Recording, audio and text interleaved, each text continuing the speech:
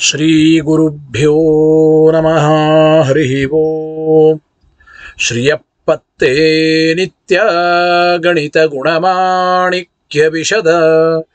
प्रभाजालोल्लासोपहत सकला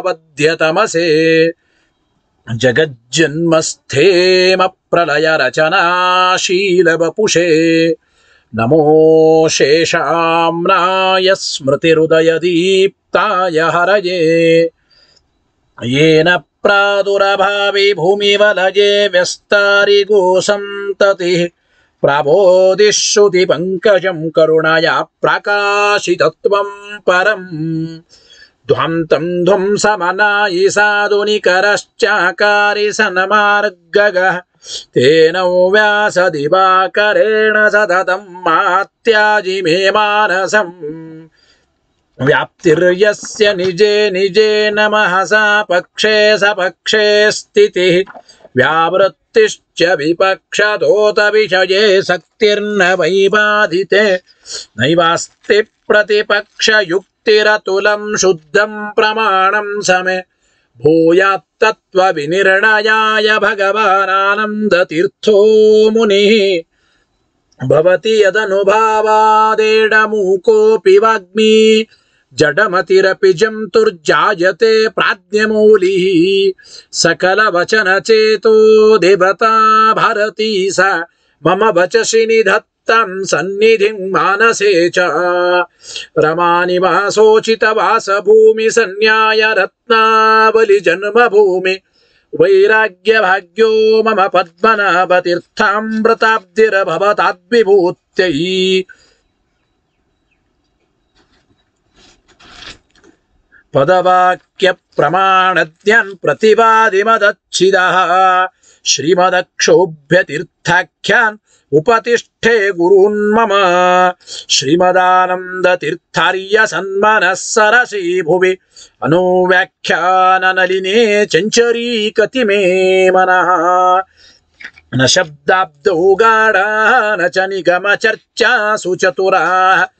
न च न्याये प्रौढाः न च विदितवेद्या अपि वयम्। परम् श्रीमत्पूर्णप्रमतिगुरुकारुण्यसरणिम् प्रपन्नामान्या स्मः किमपि च वदन्तोऽपि महताम्।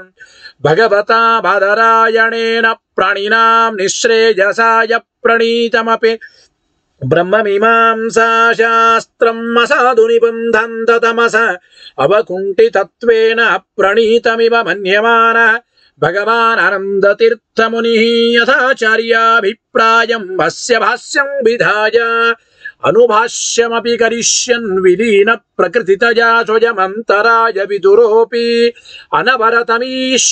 प्रवण काय कर्ण वृत्तिर नारायण प्रणामादिकम् पारीप्सितस्यानन्तराय परिसमाप्तेः प्रचयस्य च हेतुतया परंपरादिना अवगतम्। अवश्यम करणीयम् शिष्यान ग्रहयुम ग्रंथाद निबध्नाति। नारायणमिति नारायणं निखिलपूर्णगुणैकदेहं निर्दोषमाप्यतममप्यखिलैः सुवाक्यैः अस्योद्भवादिदमशेषविशेषतोऽपि वन्द्यं सदा प्रियतमं मम सन्नमामि तमेव शास्त्रप्रभवं प्रणम्य जगद्गुरूणां गुरुमञ्जसैव विशेषतो मे परमाख्यविद्याव्याख्यां ओम ओम अथा तो ब्रह्म जिज्ञासा वो। श्रुति क्षीराब्धि मध्य धीमं धरमही प्राप्त न्याय सुधा येन तम च इन्द्रमहं भजे। बुधैरपि तो निपुण गुरुपादर साहसं। लौकिक लौकिक फलम लक्षण अमृत दोहिनी गुरुवनुग्रहरूपम् ताम् कमधेनुमुपस्मये मद्भोक्तिर्द्विनदी जयर्यशुभवक्षुर्यात्मजः सङ्गमे। व्याख्यास्नानमहोभिधाय हरे प्राप्य प्रसादम् परम् प्रापुरुषे कृतकृत्यताम् गतमला विद्यादिराजादयो योगीशा कृपयन्तु ते जयमुनेर्भावस्य बोधाय मे। शुकेन शान्त्यादिषु वाङ्मयेषु व्यासेन धैर्यम् बुधिनोपमेयम्।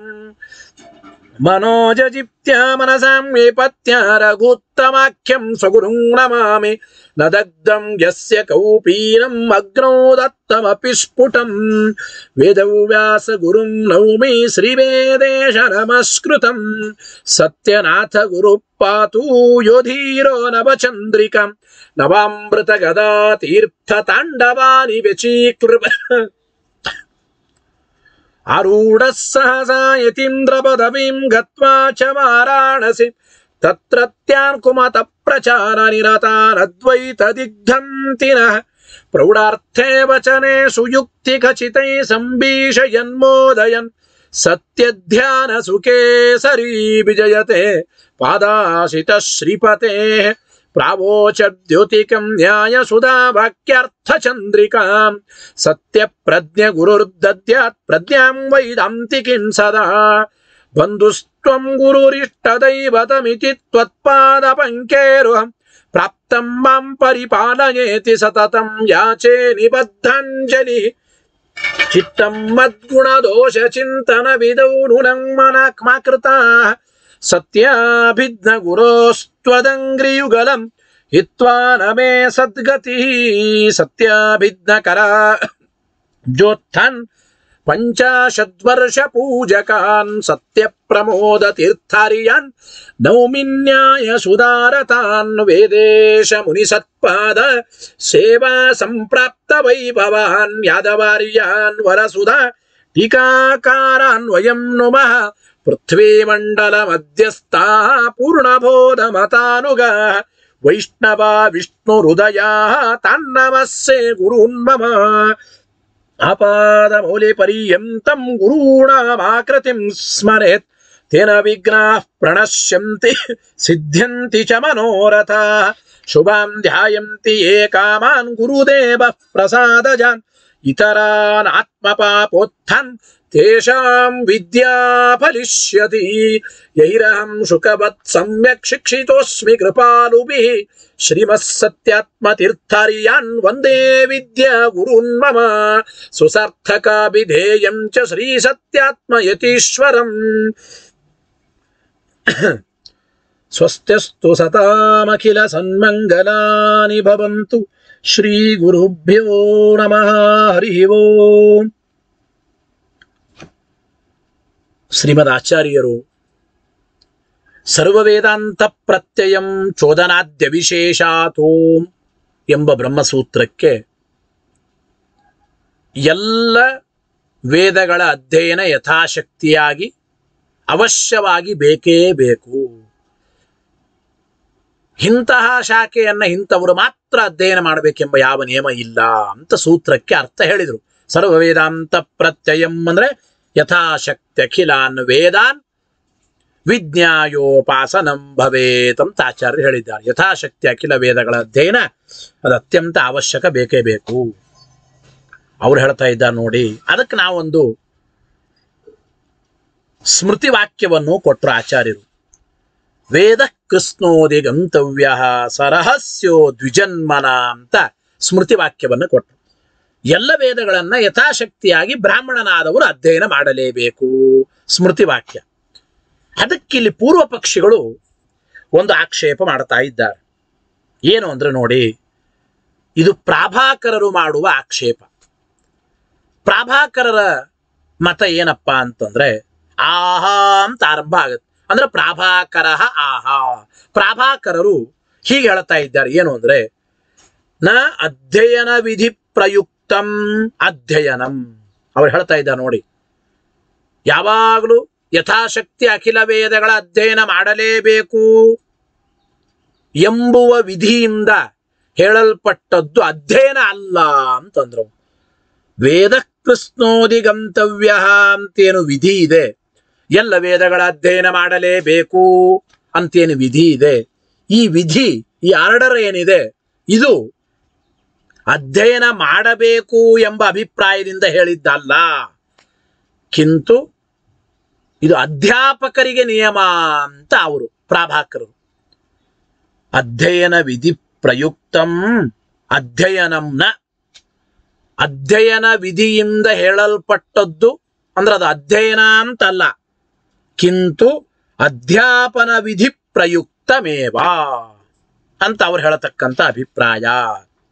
ಅಂದ್ರೆ ಅಧ್ಯಯನ ಅಂಬೋದು, ಅಧ್ಯಯನ ವಿಧಿಯಿಂದ ಹೇಳಲ್ಪಟ್ಟದ್ದಲ್ಲ. ಅಂದ್ರೆ ಅಧ್ಯಯನವು ಅಧ್ಯಯನ ವಿಧಿ ಪ್ರಯುಕ್ತವಾದದ್ದಲ್ಲ, ಕಿಂತು ಅಧ್ಯಾಪನವೇ ಅಧ್ಯಯನ ವಿಧಿ ಪ್ರಯುಕ್ತವಾದದ್ದು. ಅಧ್ಯಾಪನ ವಿಧಿ ಪ್ರಯುಕ್ತವಾದದ್ದು ಅಂತ ಅಭಿಪ್ರಾಯ. ಅಂದ್ರೆ ಏನರ್ಥ? ಅವ್ರು ನೋಡಿ ವೇದ ಕೃಷ್ಣೋದಿ ಗಂತವ್ಯ ಅಂತೇನು ವಿಧಿ ಇದೆ. ಈ ವಿಧಿ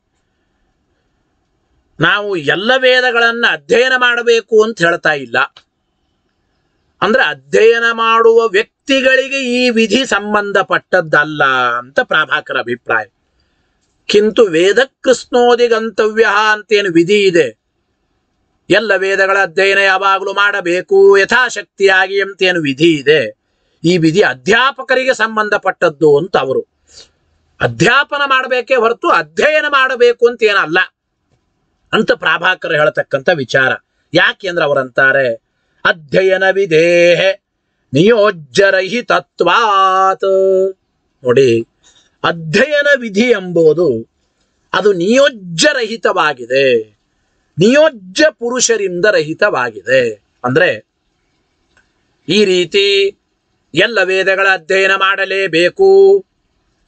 ಅಂಥೇಳಿ ಅಧ್ಯಯನ ವಿಧಿಯಿಂದ ಪ್ರೇರಿಸಲ್ಪಡತಕ್ಕಂತಹ ವ್ಯಕ್ತಿಗಳು ಇಲ್ಲ. ನಿಯೋಜ್ಯರಾದ ಪುರುಷರು ಇಲ್ಲ. ಅಂತ ಪ್ರಾಭಾಕರ ಅಭಿಪ್ರಾಯ.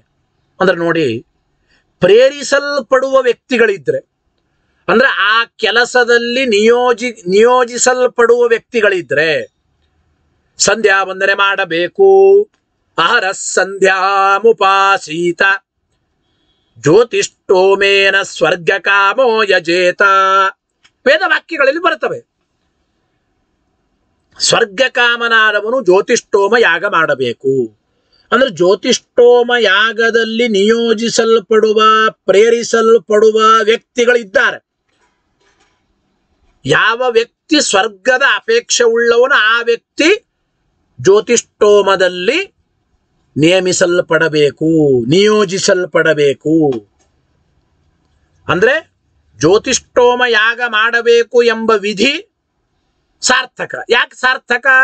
ನಿಯೋಜಿಸಲ್ಪಡುವ ಪುರುಷ ಇದ್ದಾನಲ್ಲಿ. ಸಂಧ್ಯಾವಂದನ ಮಾಡಬೇಕು ಎಂಬ ವಿಧಿ ಅದು ಸಾರ್ಥಕ. ಯಾಕೆ? ಸಂಧ್ಯಾವಂದನ ಮಾಡುವ, ಅಂದ್ರೆ ಸಂಧ್ಯಾವಂದನೆ ಮಾಡುವಂತ ಹೇಳಿಸಿಕೊಳ್ಳಲ್ಪಡುವ ನಿಯೋಜ್ಯನಾದ ಒಬ್ಬ ಪುರುಷ ಇದ್ದಾನೆ. ಆರ ಸಂಧ್ಯಾಮುಪಾಸೀತ ಎಂಬ ವಿಧಿವಾಕ್ಯ ಅದು ಸಾರ್ಥಕ ಅಂತ ಆಗುತ್ತದೆ. ಆದರೆ ಅಧ್ಯಯನ ವಿಧಿಗೆ ನಿಯೋಜ್ಯನಾದ ಒಬ್ಬ ವ್ಯಕ್ತಿನೇ ಇಲ್ಲ ಅಂತ ಅವರ ಅಭಿಪ್ರಾಯ. ಗೊತ್ತಾಯಿತೋ ಇಲ್ಲೋ? ಅಧ್ಯಯನ ಮಾಡಬೇಕು. ಅಧ್ಯಯನದಲ್ಲಿ ನಿಯೋಜಿಸಲ್ಪಡುವ ಪುರುಷರು ಒಬ್ಬ ವ್ಯಕ್ತಿಗಳು ಅಂತ ಇಲ್ಲ. ಅದಕ್ಕಾಗಿ ಅಧ್ಯಯನ ವಿಧಿ ಎಂಬುದು ಇದು ನಿಯೋಜ್ಯರಹಿತವಾಗಿದೆ. ಆದ್ದರಿಂದ ಅಧ್ಯಯನ ವಿಧಿ ಇದು ಅಧ್ಯಯನ ಪ್ರಯುಕ್ತವಾದದ್ದಲ್ಲ, ಕಿಂತು ಅಧ್ಯಯನ ವಿಧಿ ಎಂಬುದು ಅಧ್ಯಾಪನ ವಿಧಿ ಪ್ರಯುಕ್ತವಾಗಿದೆ. ಅಧ್ಯಯನವು ಅಧ್ಯಾಪನ ವಿಧಿ ಪ್ರಯುಕ್ತವಾಗಿದೆ ಅಂತ ಅವರ ಅಭಿಪ್ರಾಯವನ್ನ ಹೇಳಿಕೊಡ್ತಾ ಇದ್ದಾರೆ. ಅಂತೂ ನಿಯೋಜ್ಯರಾದ ಪುರುಷರು ಇಲ್ಲ ಅಧ್ಯಯನಕ್ಕೆ. ಆದ್ದರಿಂದ ಅಧ್ಯಾಪನ ವಿಧಿಯಿಂದ ಅರ್ಥಾತ್ ತಿಳಿದು ಬರ್ತಾ ಇದೆ. ಅಂದ್ರೆ ಅಧ್ಯಾಪನೆ ಮಾಡುವಾಗ ಇವರು ಓದಬೇಕು ಅಂತ ಅಷ್ಟೇ ಅಭಿಪ್ರಾಯ. ಅಂದ್ರೆ ಸ್ವಾಧ್ಯಾಯೋ ಅಧ್ಯೇತವ್ಯ ಏನು ಅಧ್ಯಯನ ವಿಧಿ ಇದೆ? ಇದು ಸ್ವರ್ಗಕಾಮೋ ಯಜೇತ ಎಂಬುವಂತೆ ಯಾವುದೇ ನಿಯೋಜ್ಯ ಪುರುಷರು ಇಲ್ಲಿ ಇಲ್ಲ ಅಂತ. ನಹಿ ಅತ್ರ ಸ್ವರ್ಗಕಾಮೋ ಯಜೇತ ಇತಿವತ ಕಶ್ಚಿತ್ ನಿಯೋಜ್ಯ ಶ್ರೂಯತೆ. ನಹಿ ಶ್ರೂಯತೆ ಅಂತ ಅನ್ವಯ. ಸ್ವರ್ಗ ಕಾಮೋ ಯಜೇತ ಜ್ಯೋತಿಷ್ಠೋಮೇನ ಸ್ವರ್ಗ ಕಾಮೋ ಯಜೇತ ಅಂಥೇಳಿ ಜ್ಯೋತಿಷ್ಠೋಮ ಯಾಗದಲ್ಲಿ ಯಾವ ರೀತಿ ನಿಯೋಜ್ಯ ಪುರುಷರು ಇದ್ದಾರೆ, ನಿಯೋಜ್ಯ ಪುರುಷನು ಇದ್ದಾರೆ ಆದ್ದರಿಂದ ಅಲ್ಲಿ ವಿಧಿಯನ್ನ ಹೇಳಿದ್ದಾರೆ. ಜ್ಯೋತಿಷ್ಠೋಮ ಯಾಗ ಮಾಡ್ರಿ ಅಂತ. ಇಲ್ಲಿ ಅಧ್ಯಯನ ಮಾಡೋದಕ್ಕೆ ಅಧ್ಯಯನದಲ್ಲಿ ಪ್ರೇರಿಸಲ್ಪಡುವ, ಅಧ್ಯಯನದಲ್ಲಿ ನಿಯುಕ್ತರಾಗುವ, ಅಂದ್ರೆ ಅಧ್ಯಯನದಲ್ಲಿ ನಿಯೋಜಿಸಲ್ಪಡುವ ವ್ಯಕ್ತಿಗಳು ಯಾರು ಇಲ್ಲಿ ಶ್ರುತರಾಗ್ತಾ ಇಲ್ಲ. ಆದ್ದರಿಂದ ಈ ಅಧ್ಯಯನ ವಿಧಿ ಎಂಬುದು ಅಧ್ಯಯನ ಪ್ರಯುಕ್ತವಲ್ಲ ಅಂತ ಪ್ರಾಭಾಕರ ಅಭಿಪ್ರಾಯ. ನಾಪಿ ವಿಶ್ವಜಿದಾದವು ಇವ ಕಲ್ಪಯಿತು ಶಕ್ಯತೆ. ನೋಡಿ, ವಿಶ್ವಜಿತ್ ಯಾಗ ಇದೆ. ಇಡೀ ಜಗತ್ತನ್ನ ಗೆಲ್ಲುವ ಯಾಗ. ಭಾಗವತದ ಅಷ್ಟಮ ಸ್ಕಂದದಲ್ಲಿ ಶುಕ್ರಾಚಾರ್ಯರ ಮುಖಾಂತರ ವಿಶ್ವಜಿತ್ ಯಾಗ ಮಾಡಿದವನು ಬಲಿಚಕ್ರವರ್ತಿ ಅಂತ ನಾವು ಕೇಳ್ತೇವೆ. ಶುಕ್ರಾಚಾರ್ಯರು ಬಲಿಚಕ್ರವರ್ತಿಯಿಂದ ವಿಶ್ವಜಿತ್ ಯಾಗ ಮಾಡಿಸ್ತಾರೆ ಅಂತ ಕೇಳ್ತೇವೆ. ಹಾಗೆ ಇಲ್ಲಿ ನೋಡಿ. ಶುಕ್ರಾಚಾರ್ಯರು ಬಲಿಯಿಂದ ವಿಶ್ವಜಿತ್ ಯಾಗ ಮಾಡಿಸಿದರು. ಗೊತ್ತಾಯ್ತಾ? ಅಲ್ಲಿ ನಿಯೋಜ್ಯನಾದ ಪುರುಷ ಇದ್ದಾನೆ. ಇಲ್ಲಿ ಏನು ಅಂತಂದ್ರೆ, ವಿಶ್ವಜಿತ್ ಯಾಗದಲ್ಲಿ ಅಂದ್ರೆ ಇಲ್ಲಿಯೂ ಕೂಡ ವಿಶ್ವಜಿತ್ ಯಾಗದಲ್ಲಿ ಒಬ್ಬ ನಿಯೋಜ್ಯ ಪುರುಷನಿದ್ದಾನೆ. ಇಲ್ಲಿ ಅಧ್ಯಯನ ವಿಧಿಯ ವಿಚಾರದಲ್ಲಿಯೂ ಕೂಡ ಒಬ್ಬ ನಿಯೋಜ್ಯ ಪುರುಷನಿದ್ದಾನೆ ಅಂದ್ರೆ ಕಲ್ಪನೆ ಮಾಡ್ಲಿಕ್ಕೆ ಬರೋದಿಲ್ಲ. ಕಲ್ಪನೆ ಮಾಡ್ಲಿಕ್ಕೆ ಬರೋದಿಲ್ಲ. ಯಾಕೆ ಅಂದ್ರೆ ಅಧ್ಯಾಪನ ವಿಧಿಯಿಂದಲೇ ಅಧ್ಯಯನ ಅಂಬೋದು ಸಿದ್ಧವಾಗ್ತಾ ಇದೆ. ನಿಯೋಜ್ಯ ಪುರುಷರು ಇಲ್ಲ. ಹಾಗಾದ್ರೆ ಸ್ವಾಧ್ಯಾಯೋ ಅಧ್ಯೇತವ್ಯ? ಅಧ್ಯಾಪನ ವಿಧಿಯಿಂದ ಈ ಅಧ್ಯಯನ ಅಂಬೋದು ಸಿದ್ಧವಾಗ್ತಾ ಇದೆ. ವಿಶ್ವಜಿದಾದವು ಇವ, ಕಲ್ಪಯಿತು ನಾಪಿ ಶಕ್ಯತೆ. ಜ್ಯೋತಿಷ್ಠೋಮಾದಿ ಯಾಗಗಳಲ್ಲಿ ಅಥವಾ ವಿಶ್ವಜಿತ್ ಯಾಗಗಳಲ್ಲಿ ಯಾವ ರೀತಿ ನಿಯೋಜ್ಯರಾದ ಪುರುಷರನ್ನು ನಾವು ಕಲ್ಪನೆ ಮಾಡ್ತೇವೋ, ಹಾಗೆ ಇಲ್ಲಿ ಕಲ್ಪನೆ ಮಾಡಲಿಕ್ಕೂ ಆಗೋದಿಲ್ಲ. ಒಟ್ಟು ಅಧ್ಯಯನ ವಿಧಿ ಎಂಬಲ್ಲಿ ಇದು ನಿಯೋಜ್ಯ ಪುರುಷ ಇಲ್ಲದೇ ಇದ್ದುದರಿಂದ ಅದು ಅಧ್ಯಯನ ಎಂಬುದು ಅಧ್ಯಯನ ವಿಧಿ ಪ್ರಯುಕ್ತವಾಗಿಲ್ಲ ಅಂತ ಅವರ ಅಭಿಪ್ರಾಯ. ಅಧ್ಯಾಪನ ವಿಧಿನಾಯೇವ ಅಧ್ಯಯನ ಸಿದ್ಧವು ಕಲ್ಪಕ ಅಭಾವ ಅದನ್ನೇ ಹೇಳ್ತಾ ಇದ್ದಾರೆ ನೋಡಿ. ಗೊತ್ತಾಯಿತೋ ಇಲ್ಲ? ಅಂದ್ರೆ ಅಭಿಪ್ರಾಯ. ಅಧ್ಯಾಪನ ವಿಧಿಯಿಂದಲೇನೆ ಅಧ್ಯಯನ ಅಂಬೋ ಸಿದ್ಧವಾಗಿಬಿಡುತ್ತೆ. ಅಧ್ಯಯನಕ್ಕೆ ಪ್ರತ್ಯೇಕ ವಿಧಿ ಬೇಕಾಗಿಲ್ಲ. ಸ್ವಾಧ್ಯಾಯೋ ಅಧ್ಯಯತವ್ಯ ಇರಬಹುದು. ವೇದ ಕೃಷ್ಣೋದಿ ಗಂತವ್ಯ ಅಂತ ವಿಧಿ ಇರಬಹುದು. ವೇದಗಳ ಅಧ್ಯಾಪನೆ ಮಾಡಬೇಕು ಅಂತ ಅರ್ಥನೇ ಹೊರತು ನಿರಂತರ ಯಥಾಶಕ್ತಿ ವೇದಗಳ ಅಧ್ಯಯನ ಮಾಡಬೇಕು ಅಂತ ಅರ್ಥ ಅಲ್ಲ. ಅಂದ್ರೆ ಆ ವಿಧಿ ಎಂಬುದು ಅಧ್ಯಾಪನ ವಿಧಿಯಿಂದ ಪ್ರಯುಕ್ತವಾದದ್ದು, ಅಧ್ಯಯನ ವಿಧಿಯಿಂದ ಪ್ರಯುಕ್ತವಾದದ್ದಲ್ಲ ಅಂತ ಅವರ ಅಭಿಪ್ರಾಯ. ಆದ್ದರಿಂದ ಸ್ವಾಧ್ಯಾಯೋ ಅಧ್ಯೇತವ್ಯ ವೇದ ಕೃಷ್ಣೋದಿ ಗಂತವ್ಯ ಇವೆಲ್ಲವೂ ಅಧ್ಯಾಪನ ವಿಧಿನಾಯೇವ ಅಧ್ಯಯನ ವಿಧಿ ಸಿದ್ಧವು ಕಲ್ಪಕ ಅಭಾವ ಅದರಿಂದ ಯಾವುದೇ ಕಲ್ಪಕವಾದದ್ದು ಇಲ್ಲ ಅಂತ ಅಭಿಪ್ರಾಯ. ಇಲ್ಲಿ ಪ್ರಶ್ನೆ. ಅಧ್ಯಯನ ವಿಧಿ ಎಂಬುದು ನಿಯೋಜ್ಯ ಪುರುಷರಿಂದ ರಹಿತವಾಗಿದೆ ಅಂತ ಅಂದ ಹಾಗೆ, ಅಧ್ಯಾಪನ ವಿಧಿಯಲ್ಲಿಯೂ ಕೂಡ ನಿಯೋಜ್ಯ ಪುರುಷರು ಇಲ್ಲ ಅಂತ ಹೇಳೋಣ ಅಂದ್ರೆ ಹಾಗೆ ಹೇಳಲಿಕ್ಕೆ ಬರೋದಿಲ್ಲ. ಆದ್ರಂತ ಪ್ರಭಾಕರ ಮತವನ್ನ ಅನುವಾದ ಮಾಡ್ತಾ ಇದ್ದಾರೆ. ಅಧ್ಯಾಪನ ವಿಧಿರಪಿ ನಿಯೋಜ್ಯ ನಿಯೋಜ್ಯರಹಿತ ಇತಿ ನಚ ವಾಚ್ಯಂ. ಅಧ್ಯಯನ ವಿಧಿ ಹೇಗೆ? ನಿಯೋಜ್ಯರಾದ ಪುರುಷರು ಇಲ್ಲ. ಆದ್ದರಿಂದ ವೇದಗಳ ಅಧ್ಯಯನ ಮಾಡಬೇಕು ಅಂತ ಅರ್ಥ ಅಲ್ಲ ಅಲ್ಲಿ. ಕಿಂತು ಅಧ್ಯಾಪನ ವಿಧಿ ಪ್ರಯುಕ್ತ ಅದು. ಅಂದ್ರೆ ವೇದಗಳ ಅಧ್ಯಾಪನ ಮಾಡಬೇಕು ಅಂತ ಇಷ್ಟೇ ಅರ್ಥ ಅಂತ ಅಂದ್ರು. ಪ್ರಭಾಕರರಿಗೆ ಪ್ರಶ್ನೆ. ಹಾಗಾದರೆ ಅಧ್ಯಯನ ವಿಧಿ ಹೇಗೆ? ನಿಯೋಜ್ಯ ಪುರುಷರು ಇಲ್ಲದೆ ಇದ್ದಿದ್ದರಿಂದ ಅದು ಅಧ್ಯಯನ ವಿಧಿ ಪ್ರಯುಕ್ತ ಅಲ್ಲ ಅಂತ ಅಂತ ಇದ್ದೀರಿ. ಅಧ್ಯಯನ ಅಂಬೋದು ಅಧ್ಯಯನ ವಿಧಿ ಪ್ರಯುಕ್ತ ಅಲ್ಲ ಅಂತ ಇದ್ದೀರಿ. ಹಾಗೆ ಅಧ್ಯಾಪನ ವಿಧಿಯಲ್ಲಿಯೂ ಕೂಡ ನಿಯೋಜ್ಯ ಪುರುಷರು ಇಲ್ಲವೇ ಇಲ್ಲ ಅಂತೀವಿ. ಗೊತ್ತಾಯಿತೋ ಇಲ್ಲೋ? ಅಂದ್ರೆ ಅಧ್ಯಯನ ವಿಧಿಯಂತೆ ಅಧ್ಯಾಪನ ವಿಧಿಯೂ ಕೂಡ ನಿಯೋಜ್ಯ ಪುರುಷರಿಂದ ರಹಿತವಾಗಿದೆ. ಆದ್ದರಿಂದ ಅಧ್ಯಾಪನ ವಿಧಾಯಕವೂ ಕೂಡ ಆಗದೆ ಹೋಗ್ಬೇಕಾಗುತ್ತದೆ. ಸ್ವಾಧ್ಯಾಯೋ ಅಧ್ಯೇತವ್ಯ ಅಂದ್ರೆ ನೀವೇನಂದ್ರಿ? ಅದು ಅಧ್ಯಯನ ವಿಧಾಯಕವಾದ ವಿಧಿ ಅಲ್ಲ. ಅಧ್ಯಾಪನ ವಿಧಾಯಕವಾದ ವಿಧಿ ಅಂದ್ರಿ. ಇಲ್ರಿ, ಅಧ್ಯಾಪನ ಅಧ್ಯಾಪನ ವಿಧಿಯಲ್ಲಿಯೂ ಕೂಡ ನಿಯೋಜ್ಯರಾದ ಪುರುಷರು ಯಾರು ಇಲ್ಲ ಅಂತ ಹೇಳ್ತೇವೆ. ಆದ್ದರಿಂದ ಅದು ಅಧ್ಯಾಪಕ, ಅಧ್ಯಾಪನ ವಿಧಾಯಕನು ಅಲ್ಲ ಅಂತ ಆಗ್ಬೇಕಾಗತ್ತೆ. ಹಂಗನಬೇಡ್ರಿ. ಯಾಕೆ ಅಂದ್ರೆ ನೋಡಿ ಆಚಾರ್ಯಕರಣ ಕಾಮಸ್ಯ ತತ್ರ ನಿಯೋಜ್ಯತ್ವ ತಂಬ ಮಾತನ್ನು ಹೇಳ್ತಾ ಇದ್ದಾರೆ. ಅಧ್ಯಾಪನ ವಿಧಿ ಮಾತ್ರ ಅದು ಅಧ್ಯಾಪನ ಪ್ರಯುಕ್ತವಾಗಿದೆ ಅಂತ ಹೇಳ್ತಾ ಇದ್ದಾರೆ. ಅಧ್ಯಾಪನ ಪ್ರಯುಕ್ತವಾಗಿದೆ, ಅಧ್ಯಾಪನ ವಿಧಿ ಪ್ರಯುಕ್ತವಾಗಿದೆ ಅಂತ ಯಾತಕ್ಕೆ ಅಂದ್ರೆ ಅಧ್ಯಾಪನ ವಿಧಿಯಲ್ಲಿ ಒಬ್ಬ ನಿಯೋಜ್ಯನಾದ ಪುರುಷ ಇಲ್ಲ ಅಂತ ಹೇಳಲಿಕ್ಕೆ ಬರಲ್ಲ. ಜ್ಯೋತಿಷ್ಠೋಮೇನ ಸ್ವರ್ಗಕಾಮೋ ಯಜೇತ ಅಂಬುವಂತೆ ಅಧ್ಯಯನ ವಿಧಿಯಲ್ಲಿ ಮಾತ್ರ ಒಬ್ಬ ನಿಯೋಜ್ಯನಾದ ಪುರುಷ ಇಲ್ಲ ಅಂತ ಹೇಳಿದ್ವಿ. ಹಾಗೆ ಅಧ್ಯಾಪನ ವಿಧಿಯಲ್ಲಿಯೂ ಕೂಡ ನಿಯೋಜ್ಯ ಪುರುಷ ಇಲ್ಲ ಅಂತ ಅನಬೇಡಿ. ಯಾಕೆಂದ್ರೆ ನೋಡಿ, ಆಚಾರ್ಯ ಕರಣ ಕಾಮಸ್ಯ ತತ್ರ ನಿಯೋಜ್ಯತ್ವ ಎಂಬ ಮಾತನ್ನು ಹೇಳ್ತಾ ಇದ್ದಾರೆ. ಆಚಾರ್ಯತ್ವವನ್ನು ಹೊಂದಬೇಕು ಅಂತ ಯಾರಿಗೆ ಅಪೇಕ್ಷೆ ಇದೆ? ನಾನು ದೊಡ್ಡ ಆಚಾರ್ಯ, ಶಾಸ್ತ್ರಿ, ಭಟ್ಟ ಆಗಬೇಕು. ಅಂತ ಯಾರಿಗೆ ಅಪೇಕ್ಷೆ ಇದೆಯೋ? ಆಚಾರ್ಯ ಕರಣ ಕಾಮನಾದವನು ಅಂತ ಅರ್ಥ ಅದಕ್ಕೆ. ಅಂದರೆ, ನಾನು ದೊಡ್ಡ ಆಚಾರ್ಯನಾಗಬೇಕು ಅಂತ ಅಪೇಕ್ಷೆ ಯಾವನಿಗಿದೆಯೋ ಆ ವ್ಯಕ್ತಿಯ ಅಧ್ಯಾಪನ ವಿಧಿಯಲ್ಲಿ ಪ್ರಯುಕ್ತನಾದ, ನಿಯೋಜ್ಯನಾದ ವ್ಯಕ್ತಿ ಎಂಬ ಮಾತನ್ನು ಹೇಳ್ತಾ ಇದ್ದಾರೆ. ಗೊತ್ತಾಯಿತೋ ಇಲ್ಲ ಅದು ಬೇರೆ ಕಡೆ ಹೇಳಲಿಕ್ಕೆ ಬರಲ್ಲ.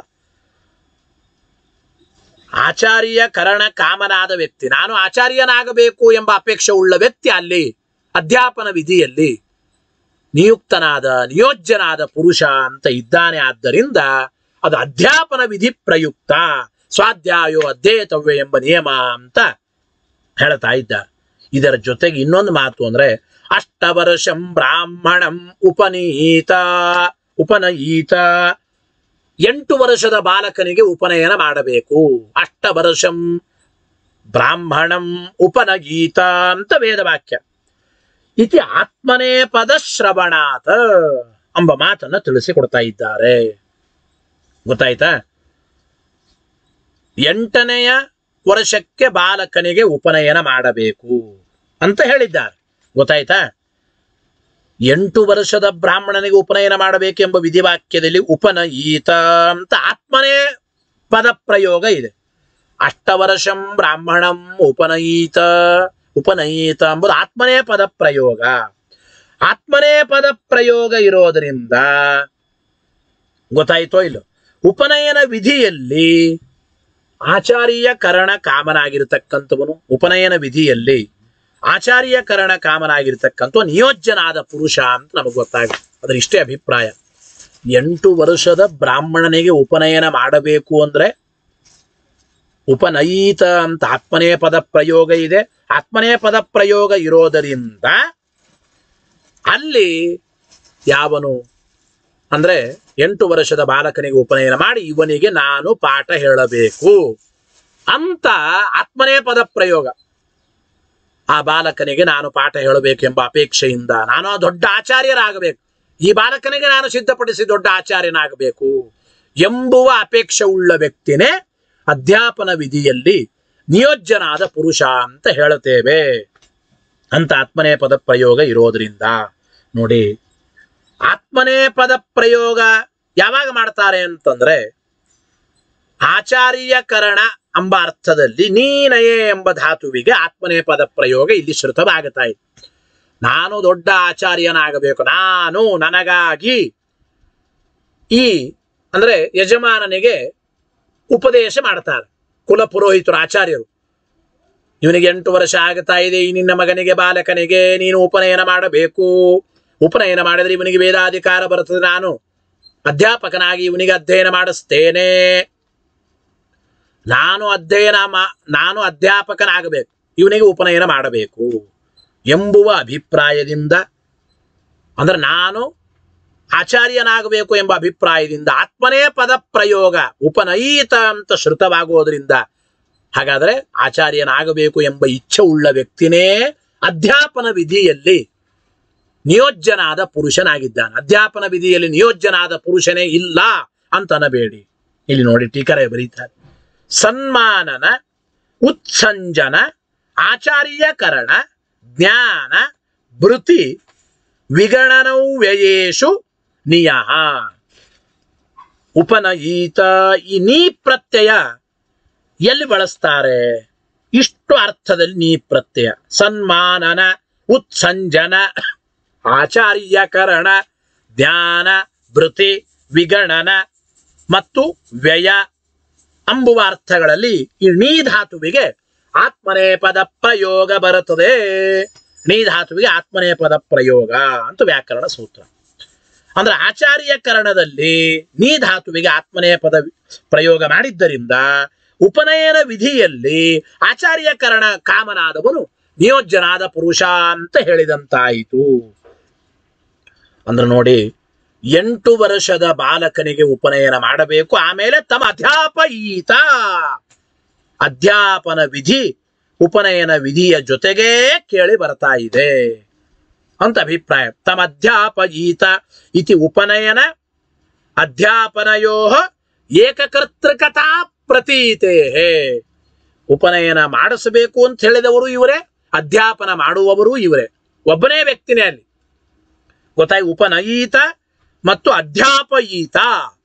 ಆತ್ಮನೇ ಪದ ಪ್ರಯೋಗ ಇರೋದ್ರಿಂದ ಆಚಾರ್ಯಕರಣ ಕಾಮನಾದವು ನಿಯೋಜ್ಯ ಪುರುಷ ಅಂತ ಇಲ್ಲಿ ಹೇಳಬಹುದು ಅಂತ ಅಭಿಪ್ರಾಯ. ಈ ನೀ ಧಾತುವಿಗೆ ಆತ್ಮನೇ ಪ್ರತ್ಯಯ ಬರುತ್ತದೆ ಅಂತ ವ್ಯಾಕರಣ ಸೂತ್ರ. ಇಷ್ಟು ಅರ್ಥಗಳಲ್ಲಿ ಸನ್ಮಾನನ ಉತ್ಸಂಜನ ಆಚಾರ್ಯಕರಣ ಜ್ಞಾನ ಭೃತಿ ವಿಗಣನ ಮತ್ತು ವ್ಯಯ ಎಂಬ ಅರ್ಥಗಳಲ್ಲಿ ಇಣೀ ಧಾತುವಿಗೆ ಆತ್ಮನೇ ಪದ ಪ್ರಯೋಗ ಬರುತ್ತದೆ ಅಂತ.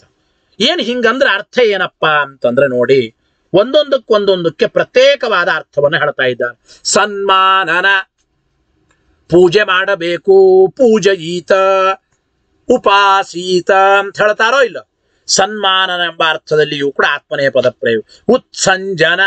ಉತ್ಸಂಜನ ಅಂದ್ರೆ ಉತ್ಕ್ಷೇಪಣ. ಮೇಲೆ ಹಾಕ್ತಕ್ಕಂಥದ್ದು ಎಂಬ ಅರ್ಥದಲ್ಲಿಯೂ ಕೂಡ ನೀ ಧಾತುವಿಗೆ ಪದ ಪ್ರಯೋಗ ಬರುತ್ತದೆ. ಮೂರನೇ ಅರ್ಥ, ಆಚಾರ್ಯಕರಣ. ಅಂದ್ರೆ ತನಗೆ ಆಚಾರ್ಯತ್ವದ ಸಂಪಾದನೆಗಾಗಿ ಎಂಬ ಅರ್ಥದಲ್ಲಿ ನೀ ಧಾತುವಿಗೆ ಅಲ್ಲಿ ಅಷ್ಟವರ್ಷಂ ಬ್ರಾಹ್ಮಣಂ ಉಪನಯೀತ ತಮ್ಮ ಅಧ್ಯಾಪಯೀತ. ಆಚಾರ್ಯಕರಣ ಕಾಮನಾದ ವ್ಯಕ್ತಿಯನ್ನ ಹೇಳುವಾಗ ಆತ್ಮನೇ ಪದ ಪ್ರಯೋಗ, ನೀ ಧಾತುವಿಗೆ ಮೂರನೇದ್ದು ನಾಲ್ಕನೇದ್ದಾಗಿ ಜ್ಞಾನ ಜ್ಞಾನ ಅಂದ್ರೆ ನಾ ವಸ್ತುವಿನ ನಿಶ್ಚಯ. ವಸ್ತುವಿನ ನಿಶ್ಚಯ ಎಂಬ ಅರ್ಥದಲ್ಲಿಯೂ ಕೂಡ ನೀ ಧಾತುವಿಗೆ ಆತ್ಮನೇ ಪದ ಪ್ರಯೋಗ. ಭೃತಿ. ಭೃತಿ ಅಂದ್ರೆ ವೇತನ. ಸಂಬಳ ಕೊಡತಕ್ಕಂಥದ್ದು. ಇಷ್ಟು ಕೆಲಸ ಮಾಡಿದವರಿಗೆ ಇಷ್ಟು ಸಂಬಳ ಕೊಡಬೇಕು ಅಂತ. ಭೃತಿ, ವೇತನ ಎಂಬ ಅರ್ಥದಲ್ಲಿಯೂ ಕೂಡ ನೀ ಧಾತುವಿಗೆ ಆತ್ಮನೇ ಪದ ಪ್ರಯೋಗ ಉಂಟು. ವಿಗಣನ ಅಂತ. ಏನು ವಿಗಣನ ಅಂದ್ರೆ? ಋಣಾದಿಗಳನ್ನ ಪರಿಹರಿಸಿಕೊಳ್ತಕ್ಕಂಥದ್ದು ಅಂತ ಅಭಿಪ್ರಾಯ. ಋಣ ಪರಿಹಾರ. ಅಂಬುವ ಅರ್ಥದಲ್ಲಿ ನೀ ಧಾತುವಿಗೆ ಆತ್ಮನೇ ಪದ ವ್ಯಯ. ವ್ಯಯ ಅಂದ್ರೆ ಖರ್ಚು ಮಾಡೋದು. ಧರ್ಮಾದಿಗಳಲ್ಲಿ ವಿನಿಯೋಗ ಮಾಡಬೇಕು. ಒಂದು ಮಾತಿದೆ. ಸಂಪಾದ್ಯ ಋಣಮಾಚರೇತಂತ ಅಭಾವೇ ಋಣಮಾಚರೇ, ಸಂಪಾದ್ಯ ಸರ್ವ ಸಂಭಾರಾನ್. ಅಭಾವೇ ಋಣಮಾಚರೇ, ದೊಡ್ಡ ದೊಡ್ಡ ಕಾರ್ಯಕ್ರಮಗಳಲ್ಲಿ ಚೆನ್ನಾಗಿ ಖರ್ಚು ಮಾಡಿ ಕಾರ್ಯಕ್ರಮ ಚೆನ್ನಾಗಿ ಮಾಡಬೇಕು. ಏ, ಅಷ್ಟು ದುಡ್ಡು ಇಲ್ಲ ಹಣ ಇಲ್ಲ ಅಂದ್ರೆ ಸಾಲ ಮಾಡಿ ಆದ್ರೂ ಮಾಡಿ, ಮನೆ ಕಟ್ಟುವಾಗ, ಮದುವೆ ಮಾಡುವಾಗ. ಸಂಪಾದ್ಯ ಸರ್ವ ಸಂಭಾರಾನ್, ಅಭಾವೇ ಋಣಮಾಚರೇ. ಶ್ರೀನಿವಾಸ ಕಲ್ಯಾಣದಲ್ಲಿ ಶಿವದೇವರು ಶ್ರೀನಿವಾಸನಿಗೆ ಹೇಳತಕ್ಕಂಥ ಮಾತಿದು. ಆದ್ದರಿಂದ ಗೊತ್ತಾಯ್ತಾ? ಈ ಒಂದು ಅರ್ಥದಲ್ಲಿ ನೀ ಧಾತುವಿಗೆ ಆತ್ಮನೇ ಪದದಿಂದ ಆಚಾರ್ಯ ಕಾಮನಾದ ವ್ಯಕ್ತಿ, ಅವನು ನಿಯೋಜ್ಯನಾದ ಪುರುಷ ಅಂಬೋದು ಇಲ್ಲಿ ಅರ್ಥವಾಗುತ್ತಾ ಇದೆ ಅಂತ ಅಭಿಪ್ರಾಯ. ಅಂದ್ರೆ ಏನಾಯ್ತು ಒಟ್ಟು? ಅಧ್ಯಯನ ವಿಧಿಯಲ್ಲಿ ಹೇಗೆ ನಿಯೋಜ್ಯ ಪುರುಷ ಇಲ್ಲ, ಹಾಗೆ ಅಧ್ಯಾಪನ ವಿಧಿಯಲ್ಲಿಯೂ ಕೂಡ ನಿಯೋಜ್ಯ ಪುರುಷ ಇಲ್ಲ ಅಂತ ಅನಬೇಡಿ ಪ್ರಭಾಕರರು. ಯಾತಕ್ಕೆ ಅಂದ್ರೆ ಅಧ್ಯಾಪನ ಮಾಡುವ ವ್ಯಕ್ತಿ, ಇಲ್ಲಿ ನಿಯೋಜ್ಯ ಪುರುಷ ಇದ್ದಾನೆ. ಇವನಿಗೆ ಉಪನಯನ ಮಾಡಬೇಕು, ಯಾಕೆ? ನಾನು ಅಧ್ಯಾಪಕನಾಗಬೇಕು. ಆಚಾರ್ಯ ಕರಣ ಕಾಮನಾದ ವ್ಯಕ್ತಿನೇ ಇಲ್ಲಿ ನಿಯೋಜ್ಯನಾದ ಪುರುಷ. ಅಧ್ಯಾಪನ ವಿಧಿಯಲ್ಲಿ. ಅಧ್ಯಯನ ವಿಧಿಯಲ್ಲಿ ಮಾತ್ರ ನಿಯೋಜ್ಯ ಪುರುಷ ಇಲ್ಲ. ಆದ್ದರಿಂದ ವೇದಕೃಷ್ಣೋದಿ ಗಂತವ್ಯ ಸ್ವಾಧ್ಯಾಯೋ ಅಧ್ಯೇತವ್ಯ ಎಂಬ ಎಲ್ಲ ವಿಧಿಗಳು ಕೂಡ ಅಧ್ಯಾಪನ ವಿಧಿ ಪ್ರಯುಕ್ತವಾಗಿವೆ ಹೊರತು. ಅಧ್ಯಾಪನೆ ಮಾಡಬೇಕು ಎಂಬ ನಿಮಿತ್ತದಿಂದ ಹೇಳ್ತಾ ಇವೆ. ಹೊರತು ಅಧ್ಯಯನ ಮಾಡಬೇಕೆಂಬ ನಿಮಿತ್ತದಿಂದ ಏನು ಹೇಳ್ತಾ ಇಲ್ಲ. ಅಂದ್ರೆ ಯಥಾಶಕ್ತಿ ಅಖಿಲ ವೇದಗಳ ಅಧ್ಯಯನ ಅವಶ್ಯಕತೆ ಇಲ್ಲ ಅಂತ ಒಟ್ಟು ಪ್ರಾಭಾಕರರ ಅಭಿಪ್ರಾಯ. ಗೊತ್ತಾಯ್ತಾ? ನೋಡಿ, ಅಂತೂ ಉಪನಯನ ಮತ್ತು ಅಧ್ಯಾಪನ ಎರಡು ಕರ್ಮಗಳಿಗೂ ಕೂಡ ಒಬ್ಬನೇ ಕರ್ತೃನೇ ವ್ಯಕ್ತಿ.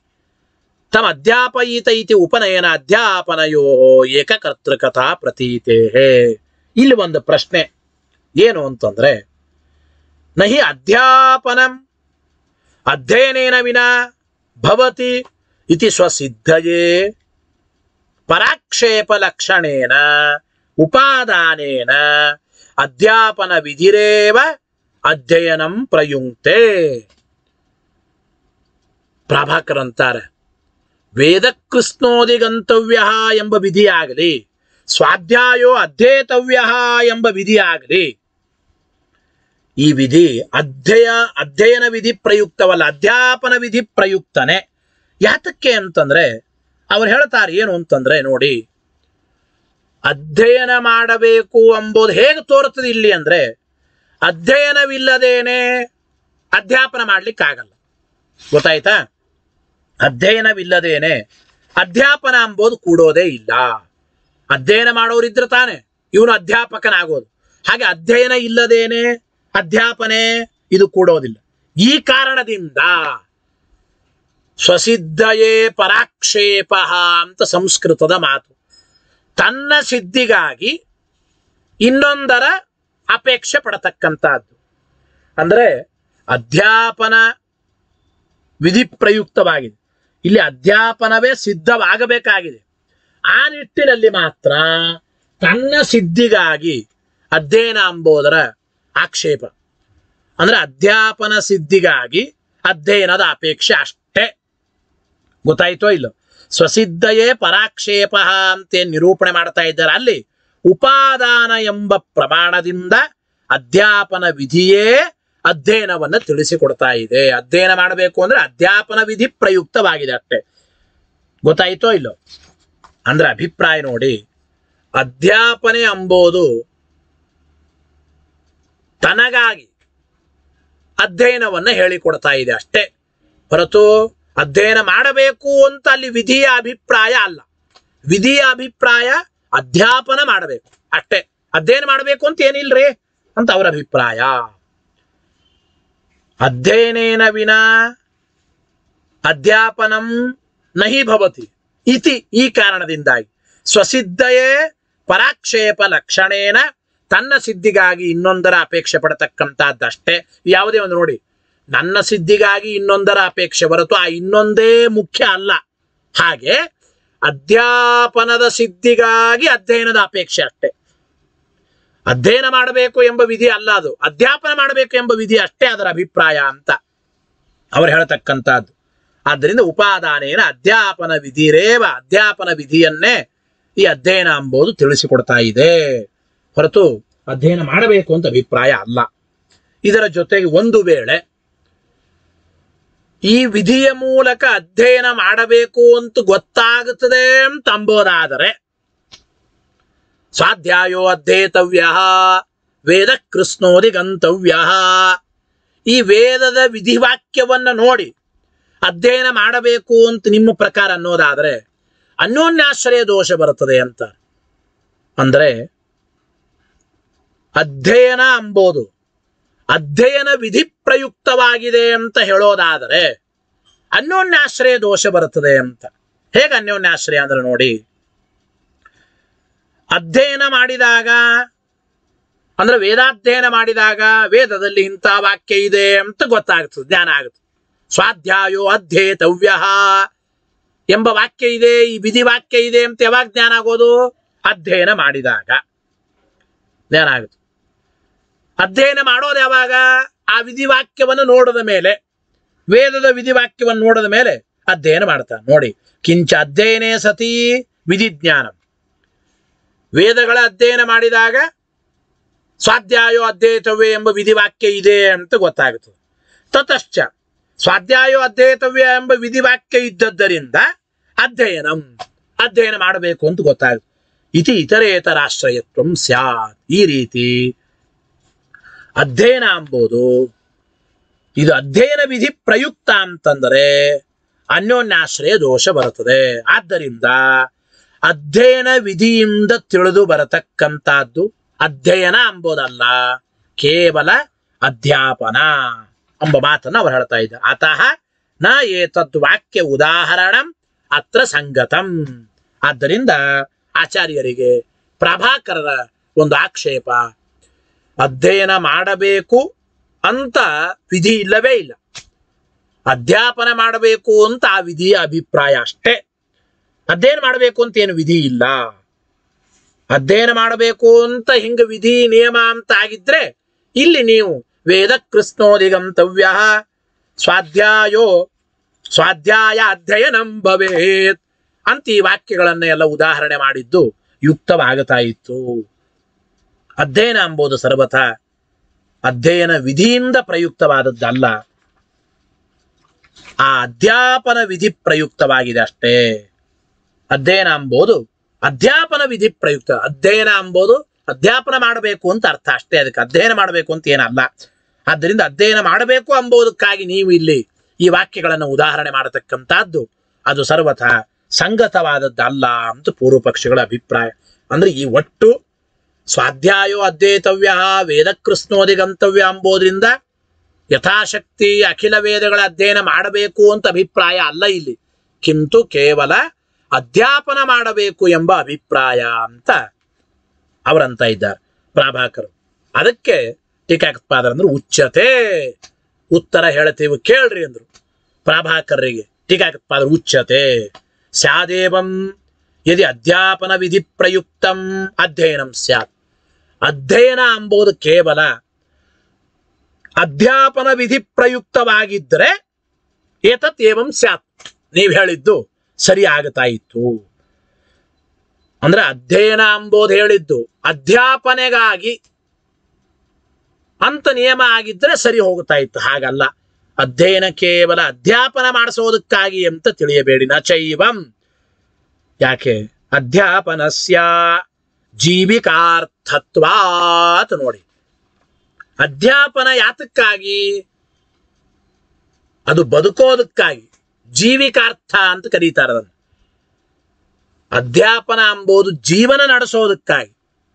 ಅಧ್ಯಾಪನೆ ಮಾಡಿ ಹಿಂದಿನ ಕಾಲಕ್ಕೆಲ್ಲ ಅರಮನೆಯಲ್ಲಿ ರಾಜ ಮನೆತನದ ಅರಮನೆಯ ಬಾಲಕರಿಗೆಲ್ಲ ಪಾಠ ಹೇಳಿ ಕೊಡ್ತಾ ಇದ್ರು, ಅಧ್ಯಾಪನ ಮಾಡ್ತಾ ಇದ್ರು. ಯಾತಕ್ಕೆ? ಆ ರಾಜರು, ಆ ಆಚಾರ್ಯರ ಜೀವನವನ್ನ, ಕುಟುಂಬವನ್ನ ನೋಡಿಕೊಳ್ತಾ ಇದ್ರು, ಸಂಬಳ ಕೊಡ್ತಾ ಇದ್ರು.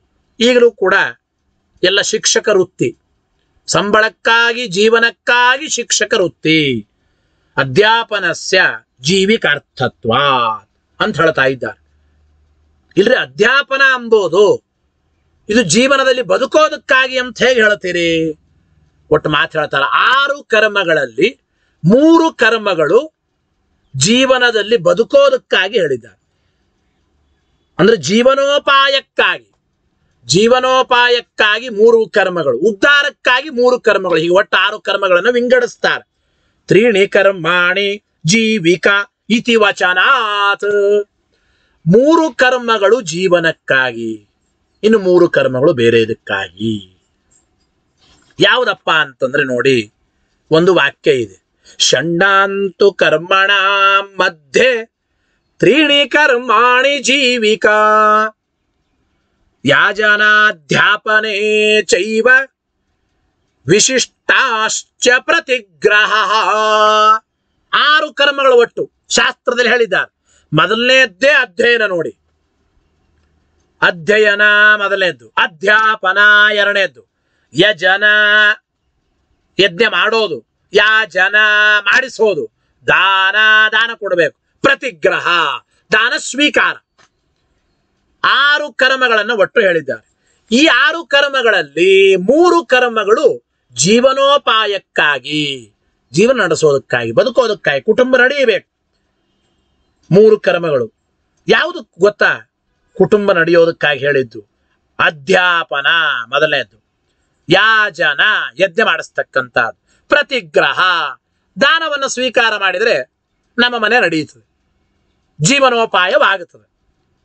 ಅಧ್ಯಾಪನ ಮಾಡೋದ್ರಿಂದ, ಯಜ್ಞಯಾಗಗಳನ್ನು ಮಾಡಿಸೋದು ಪೌರೋಹಿತ್ಯದಿಂದ ಮತ್ತು ದಾನ ಧರ್ಮಗಳನ್ನು ಸ್ವೀಕಾರ ಮಾಡತಕ್ಕಂಥದ್ದು, ಪ್ರತಿಗ್ರಹ. ಈ ಮೂರು ಕರ್ಮಗಳು ಜೀವನೋಪಾಯಕ್ಕಾಗಿ ಅಂತ ವಚನ ಇದೆ. ಆದ್ದರಿಂದ ಅಧ್ಯಾಪನ ವಿಧಿ ಎಂಬುದು ಮೂರು ಕರ್ಮಗಳಲ್ಲಿ ಅದೂ ಕೂಡ ಜೀವನೋಪಾಯಕ್ಕಾಗಿ ಹೇಳಲ್ಪಟ್ಟದ್ದಂತು. ಆದರೆ ಅಧ್ಯಯನ ಮಾತ್ರ ಜೀವನೋಪಾಯಕ್ಕಾಗಿ ಅಲ್ಲ.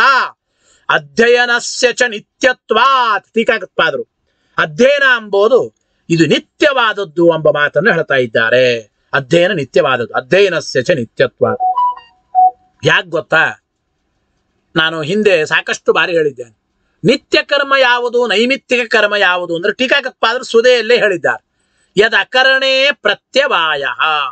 ಯಾವುದನ್ನು ನಿತ್ಯ ಕರ್ಮ ಅಂತ ಕರೀಬೇಕು ಗೊತ್ತೇನು? ಯಾವುದನ್ನ ಮಾಡದೆ ಹೋದರೆ ಪಾಪ ಬರುತ್ತದೋ ಅದು ನಿತ್ಯ ಕರ್ಮ. ನೈಮಿತ್ತಿಕ ಕರ್ಮ ಅಂದ್ರೆ ಏನು?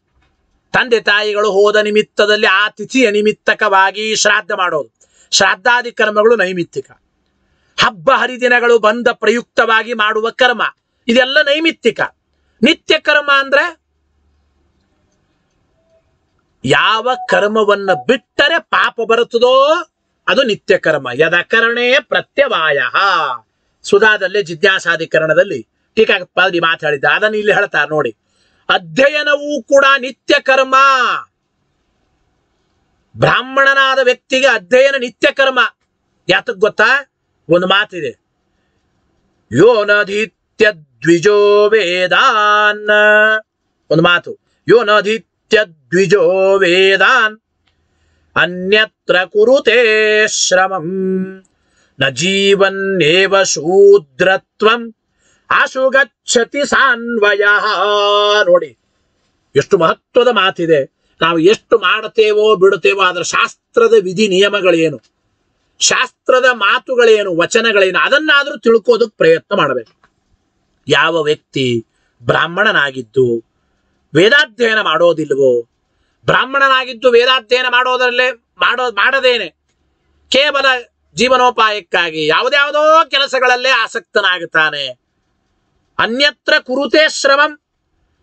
ವೇದಾಧ್ಯಯನ ಮಾಡೋದರಲ್ಲಿ ಅವನಿಗೆ ಆಸಕ್ತಿ ಇಲ್ಲ, ಶ್ರಮ ವಹಿಸೋದಿಲ್ಲ. ಬ್ಯಾರೆ ಯಾವುದೋ ಲೌಕಿಕ ಕಾರ್ಯಗಳಲ್ಲೇ ಯಾವ ವ್ಯಕ್ತಿ ಶ್ರಮ ವಹಿಸ್ತಾನೆ, ಬ್ರಾಹ್ಮಣನಾದವನು, ಬೇಗನೆ ಅವನು ಶೂದ್ರನೇ ಆಗುತ್ತಾನೆ ಅಂತ ಮಾತಾಡ್ತಾನೆ. ಎಷ್ಟು ನಿಷ್ಠುರವಾದ ಧರ್ಮಶಾಸ್ತ್ರ ನೋಡಿ. ಎಷ್ಟು ಸೂಕ್ಷ್ಮ ಇದೆ ಧರ್ಮಶಾಸ್ತ್ರ. ಬ್ರಾಹ್ಮಣನಾಗಿ ಯಾವ ವ್ಯಕ್ತಿ ವೇದಶಾಸ್ತ್ರಗಳ ಅಧ್ಯಯನ ಮಾಡದೇನೆ, ಕೇವಲ ಲೌಕಿಕವಾದ ಕರ್ಮಗಳಲ್ಲೇ ಅವನು ಆಸಕ್ತನಾಗುತ್ತಾನೆ ಅವನು ಶೂದ್ರನೇ ಆಗುತ್ತಾನೆ ಆಶು ಅಂತಾರೆ. ಆಶು ಗಚ್ಚತಿ ಸಾನ್ವಯ, ಜೀವನ್ನೇವ ಶೂದ್ರತ್ವಂ, ಆಶು ಗಚ್ಚತಿ ಸಾನ್ವಯ. ಅವನು ಶೂದ್ರನಾಗುತ್ತಾನೆ ಅಂತ ಮಾತು. ಹಾಗಾದ್ರೆ ಅಭಿಪ್ರಾಯ ಏನು? ವೇದಾಧ್ಯಯನ ಮಾಡದೆ ಹೋದ್ರೆ ಶೂದ್ರನಾಗುತ್ತಾನೆ ಪಾಪ ಬರುತ್ತದೆ. ಹಾಗಾದ್ರೆ ವೇದಾಧ್ಯಯನ ಮಾಡದೇ ಇದ್ರೆ ಪಾಪ ಅಂದ್ರೆ ಅಭಿಪ್ರಾಯ ಏನು? ವೇದಾಧ್ಯಯನ ಮಾಡೋದು ನಿತ್ಯ ಕರ್ಮ. ಯಾವುದನ್ನ ಬಿಟ್ರೆ ಪಾಪ ಬರುತ್ತದೋ ಅದು ನಿತ್ಯ ಕರ್ಮ. ವೇದಾಧ್ಯಯನ ಬಿಟ್ರೆ ಪಾಪ ಬರುತ್ತದೆ. ಆದ್ದರಿಂದ ವೇದಶಾಸ್ತ್ರಗಳ ಅಧ್ಯಯನ ಅಂಬೋದು ಇದು ನಿತ್ಯ ಕರ್ಮ ಎಂಬ ಮಾತನ್ನು ತಿಳಿಸಿಕೊಡ್ತಾ ಇದ್ದಾರೆ. ಆದ್ದರಿಂದ ನಚ ನಿತ್ಯಂ ಅನಿತ್ಯೇನ ಪ್ರಯುಜ್ಯತೆ. ಅವರು ಪ್ರಾಭಾಕರೊಂದು ಮಾತು ಹೇಳಿದ್ರು. ಅಧ್ಯಾಪನ ಮಾಡೋದಕ್ಕಾಗಿ ಅಧ್ಯಯನ ಹೇಳಿದ್ದಷ್ಟೇ. ಅಧ್ಯಯನ ಮಾಡಬೇಕು ಅಂತ ಅಭಿಪ್ರಾಯ ಅಲ್ಲ. ಅವ್ರು ಹೇಳಿದ್ದು, ಅಧ್ಯಾಪನ ಮಾಡಬೇಕಾದ್ರೆ ಅನಿವಾರ್ಯವಾಗಿ ಅಧ್ಯಯನವೂ ಬೇಕು. ಅಂದ್ರೆ ಅಧ್ಯಾಪನೆಗಾಗಿ ಅಧ್ಯಯನ ಅಷ್ಟೇ. ಹೊರತು ಅಧ್ಯಯನ ಮಾಡಬೇಕು ಅಂತ ಏನು ವಿಧಿ ಇಲ್ಲ ಅಂತಂದಿದ್ರೆ ಹಂಗನಬೇಡಿ. ನೋಡಿ ಯಾವಾಗಲೂ ಕೂಡ ಅನಿತ್ಯವಾದದ್ದರಿಂದ ನಿತ್ಯವಾದದ್ದು. ಅಂದರೆ ಪ್ರಯೋಗಿಸಲ್ಪಡೋದಿಲ್ಲ ಅಂತ ಅಭಿಪ್ರಾಯ. ನಿತ್ಯವಾದದ್ದರಿಂದ ಅನಿತ್ಯವಾದದ್ದನ್ನು ಹೇಳ್ಬೋದು. ಹೊರತು ಅನಿತ್ಯವಾದದ್ದರಿಂದ ನಿತ್ಯವಾದದ್ದನ್ನ ನಿಯಮನ ಮಾಡೋದು ಹೇಳತಕ್ಕಂಥದ್ದು ಸಾಧ್ಯ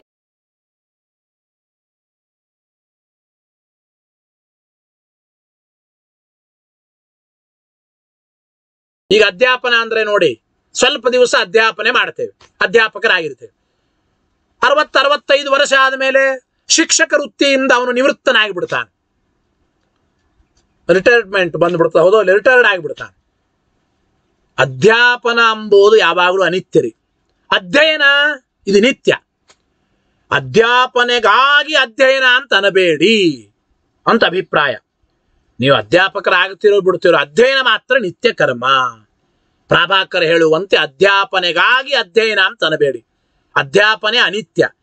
ಅನಿತ್ಯವಾದ ಕರ್ಮದಗೋಸ್ಕರ ನಿತ್ಯವಾದ ಕರ್ಮವನ್ನ ವಿಧಾನ ಮಾಡತಕ್ಕಂಥದ್ದು ಯೋಗ್ಯವಲ್ಲ.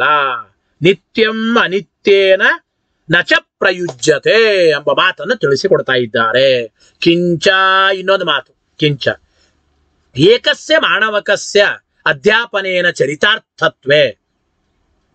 ಮಾಣವಕಾಂತರಸ್ಯ ಅನಧ್ಯಯನ ಪ್ರಸಂಗ.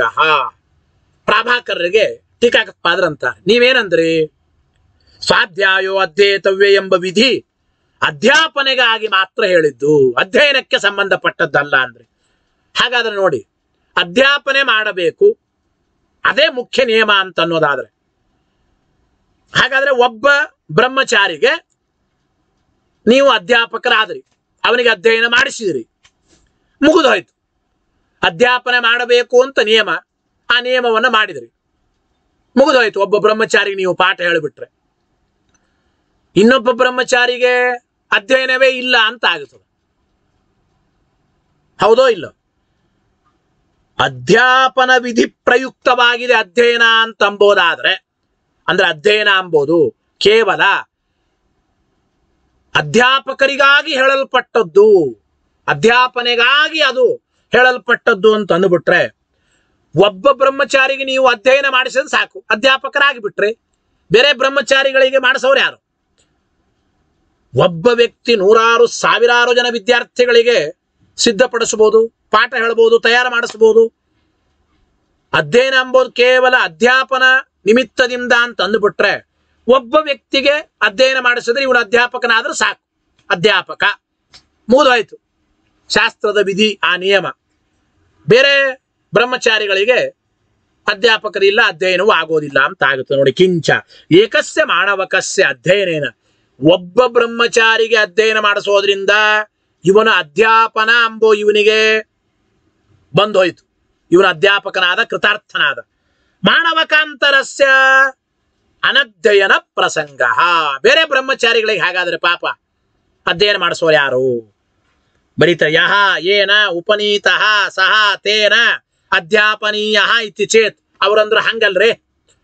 ಯಾವ ಬ್ರಹ್ಮಚಾರಿಗೆ ಯಾರು ಉಪನಯನ ಮಾಡಿದ್ದಾರೋ ಅವರು ಅಧ್ಯಯನ ಮಾಡಿಸ್ತಾರೆ ಅಂತ ನಿಯಮ ಹೇಳ್ತೇವೆ ಅಂದ್ರೆ ಯಾವ ಯಾವ ತಂದೆಗಳು ಮಕ್ಕಳಿಗೆ ಉಪನಯನ ಮಾಡಿಸ್ತಾರೋ, ಯಾವ ಗುರುಗಳು ಬ್ರಹ್ಮಚಾರಿಗಳಿಗೆ ಉಪನಯನ ಮಾಡಿಸ್ತಾರೋ ಅವರೇ ಆ ವ್ಯಕ್ತಿಗಳಿಗೆ ಅಧ್ಯಾಪನ ಮಾಡಿಸ್, ಅಂದ್ರೆ ಅಧ್ಯಯನ ಮಾಡಿಸ್ತಕ್ಕಂಥವ್ರು ಅಂತ ಹೇಳ್ತೀವಿ. ಅಂದ್ರೆ ಬೇರೆ ಬ್ರಹ್ಮಚಾರಿಗಳಿಗೆ ಅಧ್ಯಯನವೇ ಇಲ್ಲ ಅಂತ ಆಗುತ್ತದೆ ಅಂತ ಏನು ಯಾವ ವಟುವಿಗೆ ಯಾರು ಉಪನಯನ ಮಾಡ, ಅವರೇ ಅವರಿಗೆ ಅಧ್ಯಯನ ಮಾಡಿಸ್ತಕ್ಕಂಥ ಹೇಳ್ತೀವಿ. ಇತ್ತೀಚೆನ ಹಂಗೆ ಹೇಳಿ ಬರಲ್ಲ. ತರಿಹಿ ಉಪನಾಯಕೆ ಪರೇತೆ ಅಧ್ಯಯನ ಅಭಾವ ಸ್ಯಾತ್ ಎಂಬ ಮಾತನ್ನು ತಿಳಿಸಿಕೊಡ್ತಾ ಇದ್ದಾರೆ. ಗೊತ್ತಾಯ್ತೋ ಇಲ್ಲ? ಹಂಗೆ ಹೇಳಿಬಿಟ್ರೆ, ಉಪನಯನ ಮಾಡಿದವನು ಮೃತನಾಗಿ ಬಿಟ್ರೆ ಈಗ ಮಗನಿಗೆ ಅಪ್ಪ ಉಪನಯನ ಮಾಡಿಸಿದ ಒಂದು ದಿನ. ಏನೋ ಕರ್ಮವಶಾತ್ ಅವನ ಪ್ರಾರಬ್ಧ ಕರ್ಮವು ಆಯುಷ್ಯ ಮುಗಿಯಿತು. ಉಪನಯನ ಮಾಡಿಸಿದ ಮರುದಿನವೇ ಆಚಾರ್ಯರು ಉಪನಯನ ಮಾಡಿದ ತಂದೆಗಳು ಅವರು ಮೃತರಾಗಿ ಬಿಟ್ರೆ ತರಿಹಿ ಉಪನಾಯಕೆ ಪರೇತೆ. ಪರೇತೆ ಅಂದ್ರೆ ಮೃತೆ ಅಂತ ಅರ್ಥ ರೀ. ಇಲ್ಲಿಂದ ಪರಲೋಕಕ್ಕೆ ಹೋದವರು ಪರೇತರು ಅಂತ ಕರೀತಾರೆ. ಇರ್ಲಿ. ನೋಡಿ, ತರ್ಹಿ. ಯಾವ ಬಾಲಕನಿಗೆ ಯಾವರು, ಯಾರು ಉಪನಯನ ಮಾಡಿಸ್ತಾರೋ, ಉಪನಯನ ಮಾಡ್ತಾರೋ ಅವರೇ ಆ ಬಾಲಕನಿಗೆ ಅಧ್ಯಾಪಕರು ಎಂಬುದಾದ್ರೆ ಉಪನಾಯಕೆ ಪರೇತೆ. ಉಪನಯನ ಮಾಡಿಸಿದವರು ಅವರು ಸ್ವರ್ಗಸ್ಥರಾಗಿ ಮೃತರಾಗಿಬಿಟ್ರೆ ಮೃತರಾಗಿ ಬಿಟ್ರೆ ಆ ಬ್ರಹ್ಮಚಾರಿಗೆ ಅಧ್ಯಯನ ಅಭಾವ ಸ್ಯಾತ್. ಅಧ್ಯಯನವೇ ಇಲ್ಲ ಅಂತ ಆಗುತ್ತದೆ ಅಂತ ಅಭಿಪ್ರಾಯ. ಯತ್ ಪುನಃ ಇತರೇತರಾಶ್ರಯತ್ವಂ ಉಕ್ತಂ. ತತ್ ಪ್ರಾತಃ ಸಂಧ್ಯಾಮುಪಾಸೀತ ನೀವೇನಂದ್ರೆ, ಅಧ್ಯಯನ ಅಂಬೋದು, ಅದು ಅಧ್ಯಯನ ವಿಧಿ ಪ್ರಯುಕ್ತ ಅಂದರೆ, ಅನ್ಯೋನ್ಯಾಶ್ರಯ ಬರುತ್ತದೆ. ಅಂತಂದ್ರೋ ಇಲ್ಲ. ಈಗ ನಾವು ಅಹರ ಸಂಧ್ಯಾಮುಪಾಸೀತ ಎಂಬ ವಿಧಿವಾಕ್ಯವನ್ನು ಹೇಳಿದ್ರು ಕೂಡ ಅನ್ಯೋನ್ಯಾಶ್ರಯ ಬರ್ತದೆ ನಾವು ಹೇಳ್ಬೋದು ತಿರುಗಿ. ಅವರೇನಂದಿದ್ರು? ಅಧ್ಯಯನ ಮಾಡಲೇಬೇಕು ಎಂಬ ವಿಧಿ ಇದೆ. ಆದ್ದರಿಂದ ಅಧ್ಯಯನ ನಿತ್ಯ ಅಂತ ಅಂಬೋದಾದ್ರೆ ಅಧ್ಯಯನ ಮಾಡಿದಾಗ ವಿಧಿ ಇದೆ ಅಂತ ಗೊತ್ತಾಗುತ್ತದೆ. ವಿಧಿಯಿಂದಲೇ ಅಧ್ಯಯನ ಮಾಡಬೇಕು ಅಂತ ಗೊತ್ತಾಗುತ್ತದೆ ಪರಸ್ಪರ. ಹೀಗೆ ಅನ್ಯೋನ್ಯಾಶ್ರಯ ಬರ್ತದೆ ಅಂತ ಪ್ರಾಭಾಕರ್ ಅಂದಿದ್ರು. ನಿಮಗೂ ಅನ್ಯೋನ್ಯಾಶ್ರಯ ಬರ್ತದೆ ಅಂತ ಟೀಕಾಕೃತ್ಪಾದರು ಪ್ರಾಭಾಕರ್ ಹೇಳ್ತಾ ಇದ್ದಾರೆ. ಯತ್ ಪುನಃ ಇತರೇತರಾಶ್ರಯತ್ವ ಉಕ್ತಂ ತತ. ಈ ರೀತಿ ಅನ್ಯೋನ್ಯಾಶ್ರಯ ನೀವೇನು ಹೇಳಿದ್ದೆ ಅದು ನಿಮಗೂ ಬರುತ್ತೆ. ಪ್ರಾತಃ ಸಂಧ್ಯಾಮುಪಾಸೀತ ಇತ್ಯಾದವು ಅಪಿ ಸಮಾನಂ. ನೋಡಿ, ನಿಮಗೂ ಅನ್ಯೋನ್ಯಾಶ್ರಯ ಬರುತ್ತದೆ ಅಂತ. ಯಾಕೆ ಅಂದ್ರೆ ಸಂಧ್ಯಾ ವಂದನೆ ಮಾಡಿದರೆ ವೇದಾಧ್ಯಯನದ ಅಧಿಕಾರ ಸಿದ್ಧ ಮಾಡಿ, ಅಂದ್ರೆ ಸಂಧ್ಯಾ ಸಂಧ್ಯಾ ವಂದನೆ ಮಾಡಿದರೆ ವೇದಾಧ್ಯಯನ ಅಧಿಕಾರ ಬರುತ್ತದೆ. ವೇದಾಧ್ಯಯನ ಅಧಿಕಾರ ಬಂದು ಅವನು ವೇದಾಧ್ಯಯನ ಮಾಡ್ತಾನೆ. ವೇದಾಧ್ಯಯನ ಮಾಡಿದ ಮೇಲೆ ಸಂಧ್ಯಾವಂದನ ಮಾಡಬೇಕು ಅಂತ ವಿಧಿವಾಕ್ಯ ಗೊತ್ತಾಗುತ್ತೆ. ಅದ ಅಂತ ಹೇಳಿ. ಗೊತ್ತಾಯ್ತು ಅಲ್ಲ ಸಂಧ್ಯಾವಂದನ ಮಾಡಿದರೆ ವೇದಾಧಿಕಾರ ಬಂದು ವೇದವನ್ನು ಅಧ್ಯಯನ ಮಾಡ್ತಾನೆ. ವೇದಾಧ್ಯಯನ ಮಾಡಿದರೆ ವಿಧಿ ಇದೆ ಅಂತ ಗೊತ್ತಾಗುತ್ತೆ. ವಿಧಿ ಇರೋದ್ರಿಂದ ಸಂಧ್ಯಾವಂದನ ಮಾಡಬೇಕು ಅಂತ ಗೊತ್ತು. ಹಿಂಗೆ ನಿಮಗೂ ಕೂಡ ಅನ್ಯೋನ್ಯಾಶ್ರಯ ಬರೋದೇನೆ ಸಮಾನಂ. ಅಯಮಪಿ ಆಚಾರ್ಯಸ್ಯೈವ ವಿಧಿ ಎಂಬ ಮಾತನ್ನು ತಿಳಿಸಿಕೊಡ್ತಾ ಇದ್ದಾರೆ. ಆದ್ದರಿಂದ ಗೊತ್ತಾಯಿತೋ ಇಲ್ಲೋ?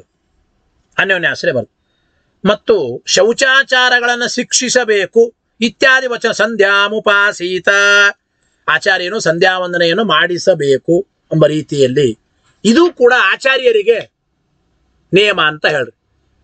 ಸ್ವಾಧ್ಯಾಯೋ ಅಧ್ಯೇತವ್ಯ ವೇದಕೃಷ್ಣೋದಿ ಗಂತವ್ಯ ಎಂಬ ವಿಧಿವಾಕ್ಯಗಳು ಕೇವಲ ಅಧ್ಯಾಪಕರಿಗೆ ಸಂಬಂಧಪಟ್ಟದ್ದು ಅಂತ ಹೇಳೋದಾದ್ರೆ ಅಹರ ಸಂಧ್ಯಾ ಮುಪಾಸೀತ ಎಂಬ ವಿಧಿವಾಕ್ಯನೂ ಕೂಡ ಮಾಡುವವನಿಗೆ ಸಂಬಂಧ ಇಲ್ಲ.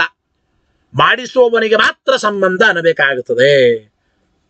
ಅಯಮಪಿ ಅಂದ್ರೆ ಅಹರ ಸಂಧ್ಯಾ ಮುಪಾಸೀತ ಎಂಬುದು ಕೂಡ ಸಂಧ್ಯಾ ವಂದನೆ ಮಾಡಿಸುವ ಆಚಾರ್ಯರಿಗೆ ನಿಯಮ ಸಂಧ್ಯಾ ವಂದನೆ ಮಾಡುವ ವ್ಯಕ್ತಿಗೆ ನಿಯಮ ಇಲ್ಲ ಅಂತಂದ್ರೆ ಹಾಗಾದ್ರೆ.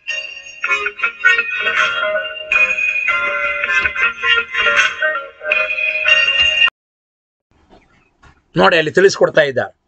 ಶೌಚಾಚಾರಾಂಶ್ಚ ಶಿಕ್ಷಯೇತ್ ಇತ್ಯಾದೇ ರೀತಿ. ಹಂಗಂದ್ರೆ ಆರ ಸಂಧ್ಯಾಮುಪಾಸೀತ ಅಂಬೋದು ಕೂಡ ಸಂಧ್ಯಾ ವಂದನೆ ಮಾಡಿಸುವ ಆಚಾರ್ಯರಿಗೆ ಸಂಬಂಧಪಟ್ಟ ನಿಯಮ ಇದು.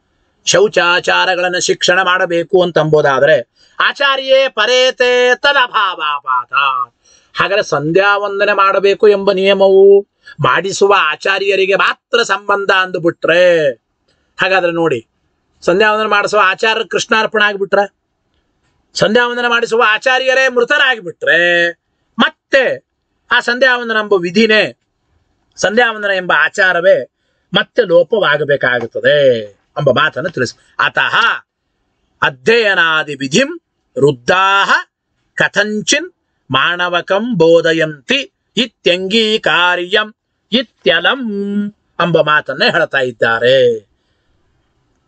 ಅಧ್ಯಯನಾದಿಗಳನ್ನ ಹಿರಿಯರು ವಟುವಿಗೆ ಹೇಗಾದರೂ ಬೋಧನೆ ಮಾಡಬೇಕು. ಅಧ್ಯಯನ ಮಾಡಬೇಕು ಅಂತ ವಟುವಿಗೆ ಹಿರಿಯರು ಹೇಳಬೇಕು. ವಟುವಿಗೆ ಅದು ವೇದಾಧ್ಯಯನ ಮಾಡಿದ ಮೇಲೇನೆ ತಿಳಿಬೇಕು ಅಂತ ಏನಿಲ್ಲ. ಅನ್ಯೋನ್ಯಾಶ್ರಯ ಬರಲ್ಲ ಅಂತ ನಮ್ಮ ಅಭಿಪ್ರಾಯ. ಅವರೇನಂದ್ರು ಅಧ್ಯಯನ ಮಾಡಿದರೆ ವೇದದಲ್ಲಿ ಅಧ್ಯಯನ ಮಾಡಬೇಕು ಎಂಬ ವಿಧಿವಾಕ್ಯ ಇದೆ. ಸ್ವಾಧ್ಯಾಯೋ ಅಧ್ಯಯತವ್ಯ ಎಂಬುದು ಗೊತ್ತಾಗುತ್ತದೆ. ಸ್ವಾಧ್ಯಾಯೋ ಅಧ್ಯಯತವ್ಯ ಎಂಬ ವಿಧಿವಾಕ್ಯ ನೋಡಿದ ಮೇಲೆ ಅಧ್ಯಯನ ಮಾಡ್ತಾನೆ. ಹೀಗೆ ಅನ್ಯೋನ್ಯಾಶ್ರಯ ಬರ್ತದೆ ನೀವಂದ್ರಲ್ಲ ಇಲ್ಲಿ ಅನ್ಯೋನ್ಯಾಶ್ರಯ ಇಲ್ಲ ಅಂತಾರ. ಯಾತಕ್ಕೆ ಅಂದ್ರೆ ನೋಡಿ, ಅಧ್ಯಯನ ಮಾಡಬೇಕು ಎಂಬ ವಿಧಿಯನ್ನ ಕಥಂಚಿತ್ ಹೇಗೋ ಬ್ರಹ್ಮಚಾರಿಗಳಿಗೆ ಜ್ಞಾನಿಗಳು, ವೃದ್ಧರು, ದೊಡ್ಡವರು ಹೇಳಬೇಕು. ಉಪನಯನ ಆದ್ಮೇಲೆ ವೇದಾಧ್ಯಯನ ಮಾಡಬೇಕಪ್ಪ. ಆ ಹಿರಿಯರ ಮಾತಿನಿಂದ ಅವನು ವೇದಾಧ್ಯಯನ ಮಾಡ್ತಾನೆ ವೇದಾಧ್ಯಯನ ಮಾಡದ ಮೇಲೇನೆ ವೇದಾಧ್ಯಯನ ಮಾಡಬೇಕು ಅಂತ ವೇದದಲ್ಲಿರುವ ವಿಧಿ ಜ್ಞಾನ ಆಗಬೇಕು ಅಂತೇನಿಲ್ಲ. ಅಧ್ಯಯನ ಮಾಡಿದರೆ ವಿಧಿಜ್ಞಾನ, ಮಾಡಬೇಕು ಎಂಬ ವಿಧಿಜ್ಞಾನ. ಆ ವೇದ ನೋಡಿ ವಿಧಿಜ್ಞಾನ ಆದ ಮೇಲೇನೆ ಮತ್ತೆ ಅಧ್ಯಯನ ಮಾಡುವುದು ಹಿಂಗೆಲ್ಲ ಅನ್ಯೋನ್ಯಾಶ್ರಯ ಏನಿಲ್ಲ. ವೃದ್ಧರು, ಜ್ಞಾನಿಗಳು, ಬ್ರಹ್ಮಚಾರಿಗಳಿಗೆ ಅಧ್ಯಯನ ಮಾಡಬೇಕಪ್ಪ. ಉಪನಯನ ಆದ ಮೇಲೆ ಉಪನಯನ ಆದಮೇಲೆ ವೇದಾಧ್ಯಯನ ಮಾಡದೆ ಹೋದರೆ ಶೂದ್ರತ್ವ ಬಂದು ಬಿಡುತ್ತದೆ. ಅಂತ ಉಪದೇಶ ಮಾಡಿದಾಗ ಅವನು ಅಧ್ಯಯನ ಮಾಡೋದಕ್ಕೆ ಆರಂಭ ಮಾಡುತ್ತಾನೆ ಮುಗಿದು ಹೋಯ್ತು ವಿಧಿವಾಕ್ಯ ನೋಡೇನೆ ಅಧ್ಯಯನ ಮಾಡಬೇಕು ಅಂತ ಏನಿಲ್ಲ. ದೊಡ್ಡವರು ಹೇಳೋದ್ರಿಂದಲೂ ಅಧ್ಯಯನದಲ್ಲಿ ಪ್ರವೃತ್ತನಾಗ್ತಾರೆ ಅತಃ ಅಧ್ಯಯನಾದಿ ವಿಧಿಂ ವೃದ್ಧಾಹ ಕಥಂಚಿತ್ ಮಾನವಕಂ ಬೋಧಯಂತಿ. ಈ ರೀತಿ ಅಂಗೀಕಾರ ಮಾಡಬೇಕು. ಇತ್ಯಂಗೀಕಾರ ಆದ್ದರಿಂದ ಇತ್ಯಲಂ. ಆದ್ದರಿಂದ ನಾವು ಹೇಳತಕ್ಕಂತ ಮಾತು ಅತ್ಯಂತ ಯುಕ್ತವಾಗಿದೆ. ನೀ ಹೇಳಿದ್ದು ಸರಿಯಾದದ್ದಲ್ಲ. ಸ್ವಾಧ್ಯಾಯೋ ಅಧ್ಯೇತವ್ಯ, ವೇದಕೃಷ್ಣೋದಿಗಂತವ್ಯ ಎಂಬ ವಿಧಿವಾಕ್ಯಗಳೆಲ್ಲ ಕೇವಲ ಅಧ್ಯಾಪನೆಗಾಗಿ ಅಲ್ಲ. ಅಧ್ಯಯನಕ್ಕಾಗಿಯೇನೆ ನಿರಂತರವಾಗಿ ಯಥಾಶಕ್ತಿ ಅಖಿಲ ವೇದಗಳ ಅಧ್ಯಯನ ಮಾಡಲೇಬೇಕು ಅಂತ ವೇದಶಾಸ್ತ್ರಗಳ ವಿಧಿಗಳಿದೆ. ಅಧ್ಯಯನಕ್ಕಾಗಿ ಈ ವಿಧಿವಾಕ್ಯ ಎಂಬುದು ಸಾರ್ಥಕ. ಕೇವಲ ಅಧ್ಯಾಪನೆಗಾಗಿ ಅಂತ ಅನ್ನಬೇಡಿ ಎಂಬ ಮಾತನ್ನು ತಿಳಿಸಿಕೊಟ್ರು. ಮುಂದೆ ಓಂ ಸಮಾಚಾರ್ಯ ಅಧಿಕಾರಾಚ್ಯ ಎಂಬ ಸೂತ್ರದಲ್ಲಿ ಆ ಸೂತ್ರಕ್ಕೆ ಅಭಿಪ್ರಾಯ ಏನು? ಅದನ್ನ ಮುಂದಿನ ವಾಕ್ಯಗಳಲ್ಲಿ ಟೀಕಾಕೃತ್ಪಾದರು ಹೇಳ್ತಾ ಇದ್ದಾರೆ.